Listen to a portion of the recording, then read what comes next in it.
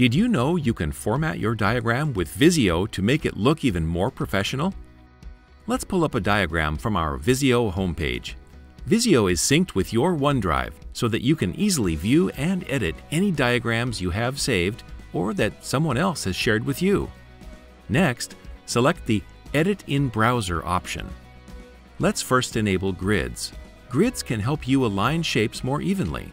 To do this, click View and then check Grid in the top menu. Now, select and drag shapes to align them. To format shapes, go back to Home in the menu bar and click on the paintbrush. We're going to click on the top shape and then click on the bottom shape to apply the same red color.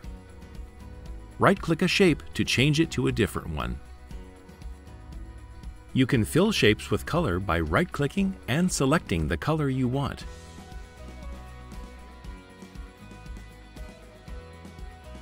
To customize connectors, select the connector you wish to change and right-click to see options.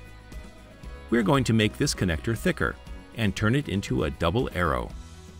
You can also choose a different line type.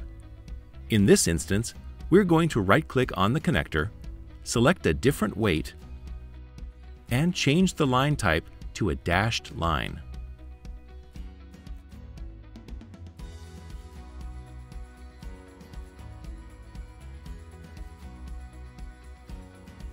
You can change the color of the connector too. Start creating beautiful diagrams today, quickly and easily with Visio.